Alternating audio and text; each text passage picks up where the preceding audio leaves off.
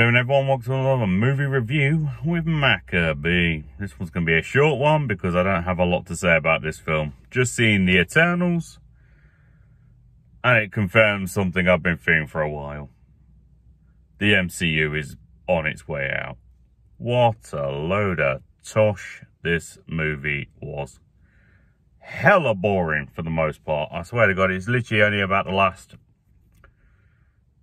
15, 20 minutes maybe where anything exciting actually happens. Like you get a little something at the start and we get a whole lot of origin stuff.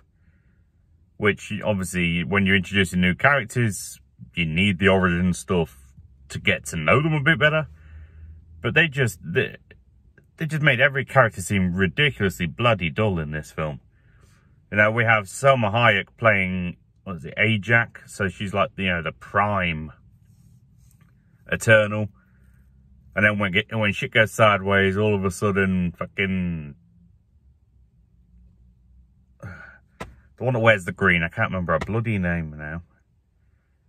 Not Ikaris, because that's Richard Madden's character, but basically one of the most boring, underdeveloped ones becomes like the big bad, top of the range, you know.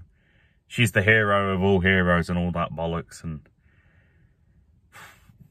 it's just it was a joke of a film. It really was. Like, it's just same, so same shit, different day.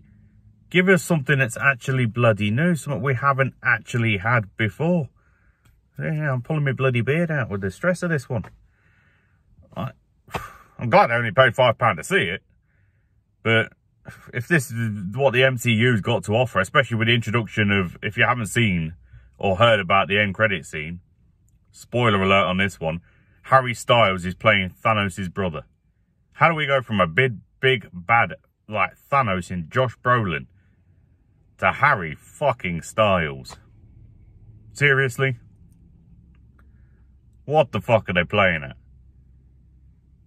I don't rate this film whatsoever. I was bored as fuck. Five pound was an overpayment to have seen this bollocks. Angelina Jolie is underutilized like no one's business. She's playing Thena. She's barely used in the movie. Or barely used to anything of actual fucking enjoyment or use, should I say. I don't, I personally don't understand why people are hyping this film up. I mean, you know, each to their own, everyone, there are going to be things in this film for people that just like action and not into comic books that'll make it more enjoyable for them. There are going to be things in this film for people who are really into the comic books and they're going to be happy that there's an adaptation now fair enough. Each to their own. That's their kind of thing. I've never read The Eternals. I'm not particularly fussed about them. And if this film's anything to go by, they're no bloody special. Again, just my opinion. But if, I, if I'm going to give this film a rating, it's a solid F. F for fucking failure. That's about all I can really say on that one. So, that's everything I had on this one check it out down below. Uh, or sort of say, drop a comment down below is what I meant to say. I don't know how the hell I messed that up. If you've seen this film, what you thought to it. 99% of people are probably going to disagree with me like, like usual. But uh, yeah, this film, load of bollocks.